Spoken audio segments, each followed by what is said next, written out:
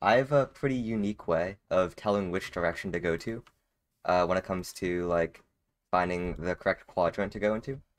Um, so of course you could look at um, where is it facing east or something towards positive x, right?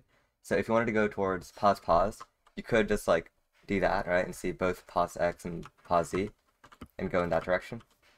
But um, yeah, the way I use is using this crosshair here, crosshair thing here, and I'm guessing like at least some other people use this as well. And if you do too, that's pretty cool. But um, if you don't, uh, here's how to do it. Just imagine this corner piece here as pos, okay? So that's positive, that means positive. And these end pieces as negative. So if you wanted to go into the positive, positive direction, uh, make the corner face you, because that means positive. And if you want to go negative, negative, make the endpoints face you, because the, the endpoints mean negative. And then when it comes to pos, neg, or neg, pos, you just place, um, you, you read it left to right, like a book. So right now the corner is on the left, and the, the endpoints are on the right.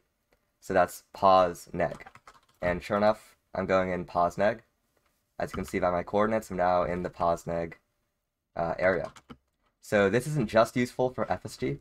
This is an FSG seed, by the way. You can use it to locate the rune portal in the village. Um, I go to the nether,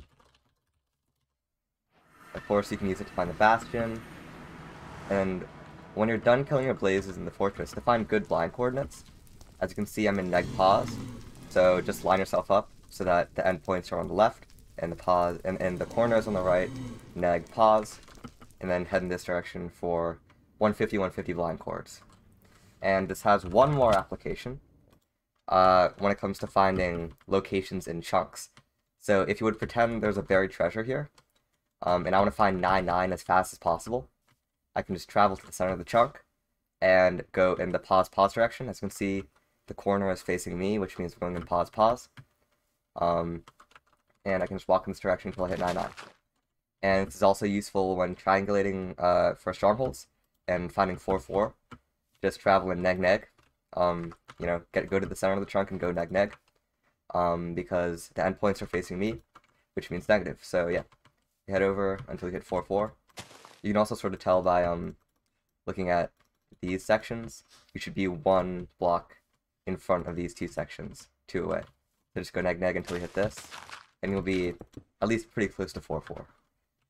So yeah, that's how I uh, really quickly figure out what direction to travel. Um, I don't know how many other people use this. I sort of came up with it myself. Um, but I'm sure it's not a new thing. Uh, so yeah, hope that helped. Anyone?